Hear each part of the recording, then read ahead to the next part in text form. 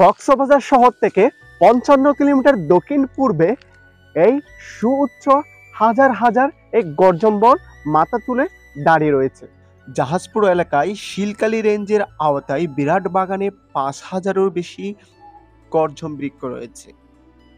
সাত আট তলা লম্বা দালানের সমান এক একটি লম্বা গাছ। কারও কারও বয়স একশো দুশো বছর পেরিয়েছে। মোট কথা এই বনে নিজেকে নৈশিক সৌন্দর্যের মাঝে নিজেকে সঁপে দিতে পারে। সবুজের কি দারুণ গালিচা। আকাশ ছোঁয়া এই অবনতি গাছ। আগে বলা হতো টেকনাফ গেম রিজার্ভ এখন বলা হয় টেকনাফ ওয়াইল্ড লাইফ সেঞ্চুরি। নাম বদলালেও স্বভাব বৈশিষ্ট্য ঠিক আগের মতো হ্যাঁ এটাই বাংলাদেশের গেম রিজার্ভ ফরেস্ট একমাত্র এগারো হাজার একশো পঁয়ষট্টি হেক্টর আয়তনে আছে দুশো নব্বই জাতের উদ্ভিদ ও একশো চব্বিশ প্রজাতির বন্যপ্রাণী। যে কোনো বনের মূল সহ্য গাছগাছালি। সেই মূল সহ্যের মূল উৎস গাছগাছালি, এই বনের কোনো কমতি নেই। হরেক রকম গাছের মাঝে সবচেয়ে বেশি দখলদারির দীর্ঘ এই গর্জনের।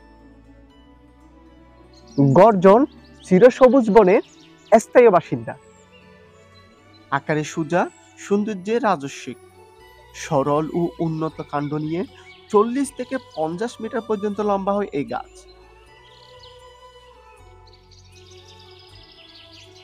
টেকনাফের এই গেম ফরেস্ট এমনিতেই অনেক সুন্দর।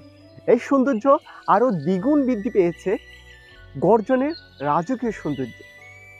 দেশের ষষ্ঠ বৃহত্তম সংরক্ষিত বনের মাঝখানে হাঁটতে হাঁটতে মনে হচ্ছে পথ হারিয়েছি ভিন্ন এক বগলে